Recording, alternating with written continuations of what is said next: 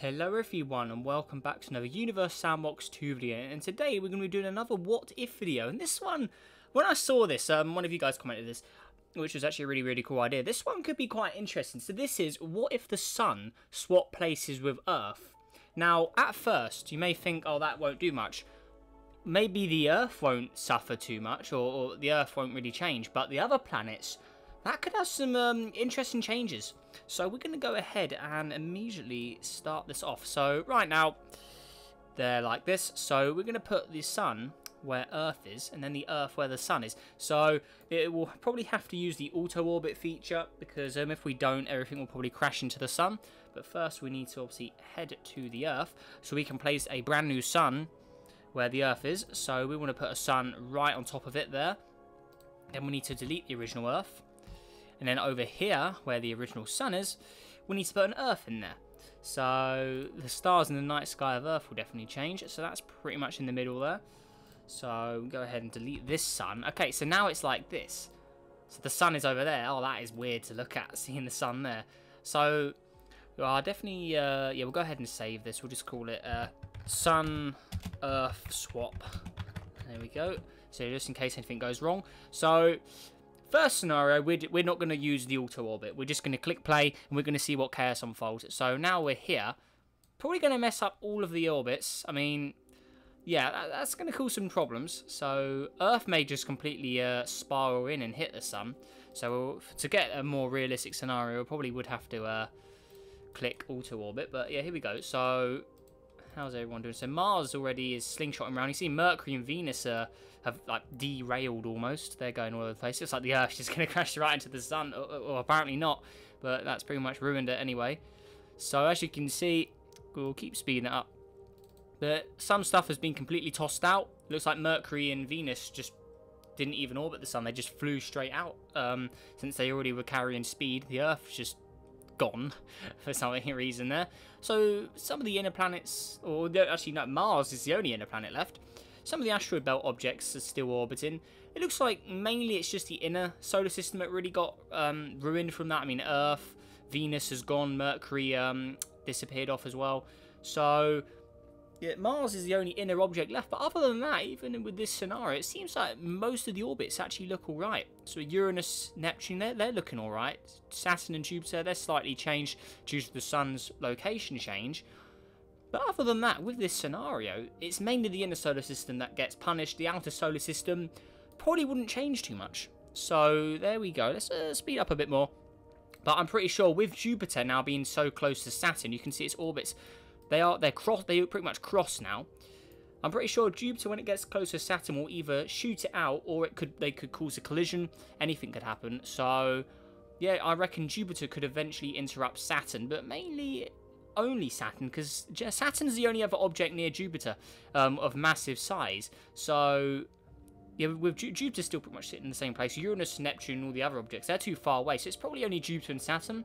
So unless Jupiter and Saturn shoot each other out, I mean, uh, or even if Saturn just got got shot at out, maybe Saturn would um, interrupt the other objects further out. But I probably I assume it probably wouldn't too much. But you never know. It could do.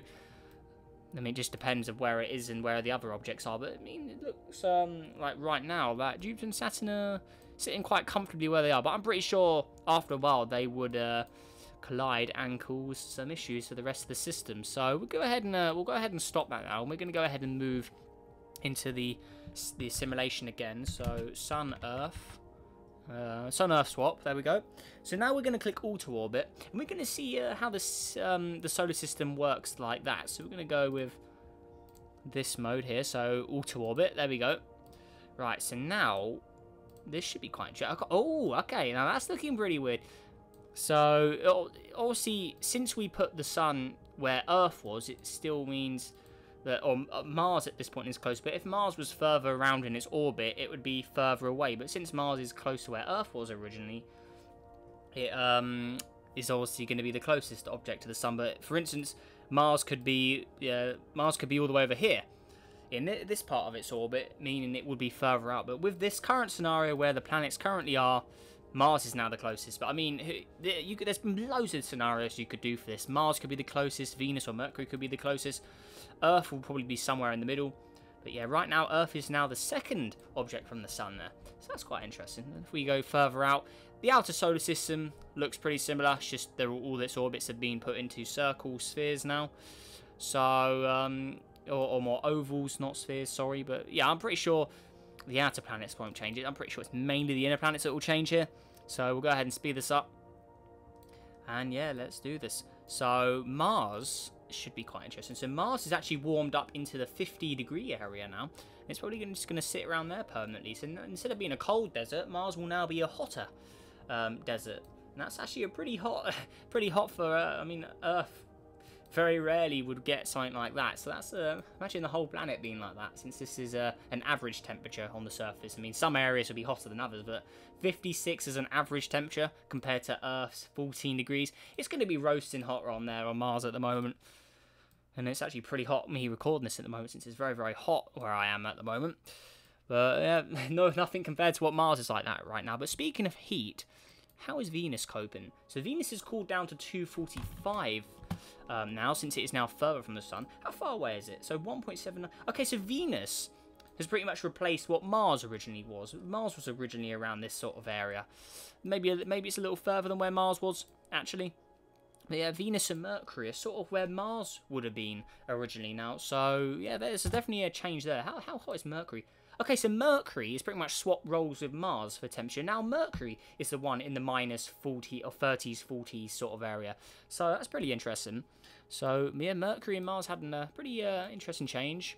So now Mercury is always going to be cold because obviously, if you didn't know, Mercury is actually quite hot in the day and it gets quite cold at night just due to um, its atmosphere not being able to hold the heat in. But since it's never ever hot in the day, Mercury will permanently be cold all day round pretty much now. I mean, minus 37 as an average, that probably doesn't mean it gets very high even on the hottest parts of the object. So, yeah, Mercury is probably forever cold, and Mars is probably forever hot. I mean, some heat probably does escape Mars at night, since its atmosphere isn't really much um, to say for as well. But since it's much closer to the sun, it probably would hold in heat a little better than Mercury, but probably still would get fairly cold at night. I mean, it's nowhere near the temperature of what Mercury originally was, but it still still sort of swap the role of Mercury being the hotter object all the time. But yeah, there we go. How is Earth? And Earth should be completely fine. I mean, it swapped with the Sun, so that means its distance from the Sun hasn't changed. It's just they just swapped where they were. So Earth, pretty much completely fine. Nothing's really changed. So, yeah, the only objects that would really change in the night sky are Mars, Mercury, and Venus, and all the asteroid belt objects and further on. They're pretty much exactly the same. It's just the inner planets where they would slightly be different in the night sky. So, with Earth in its current position, Mercury would probably be visible in the night sky because Mercury is uh, not an easy one to spot since it's always so close to the sun. Not not really um, possible or, or, very very rare to see at nighttime just due to it being so close to the sun and it's always going to be near the glare of the sun. So yeah, it'd be quite hard to see that guy at night. But now Mercury's further away than Earth, you probably would be able to see Mercury um, at nighttime. I mean, it doesn't reflect the most light, but it's still relatively, it's still yeah, I think it's the closest planet to Earth now, by the looks of it. I, want to say it's closer than what Mars is, but it'd be quite hard to just make a guess there. They all look very... I mean, looking here, I kind of want to say Mercury's further away than, than Mars's orbit, but I don't know. I mean, it's, it's definitely very close to Earth now than where it originally was.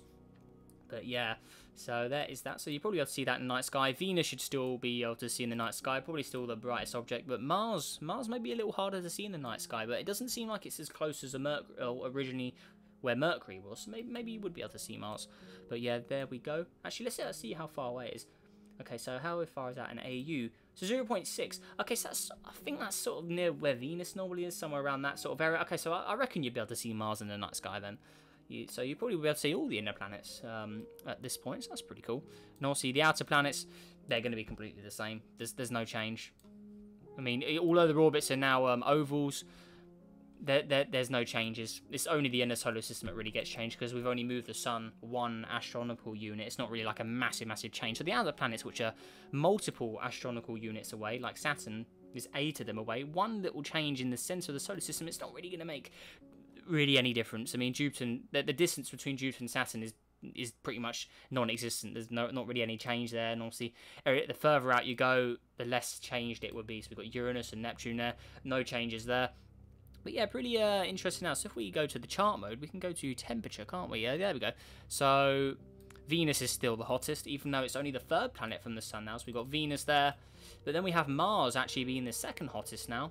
Then we got Earth inside there being the third hottest. And then all the other planets are in the minuses. So all of that. Alright, cool.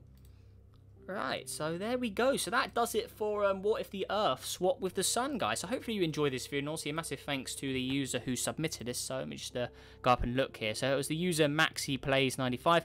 They said, please do What If the Sun and Earth Swap Places. So yeah, massive thanks to them for suggesting this idea. It did take a while for me to get around to it, but at least I got it done eventually. But yeah, I did want to did want to get around to doing it, because I thought it was quite a cool idea, honestly. And yeah, I, I definitely think it was quite interesting to see some of the sort of changes here. So yeah, guys, let me know what you think down below, if your opinions on what would happen in this scenario as well because remember this is only a simulator. It's not like real life. Obviously there'd be different circumstances and things would probably be different as well in real life I mean. It's only a game so they can't program all the realistic stuff in it but I mean I think this is quite a good representation of um, what could possibly happen um, if it ever went down. But yeah, that is it, guys. Let's see if we can go for uh, 40 likes on today's video, guys. And also subscribe if you're new.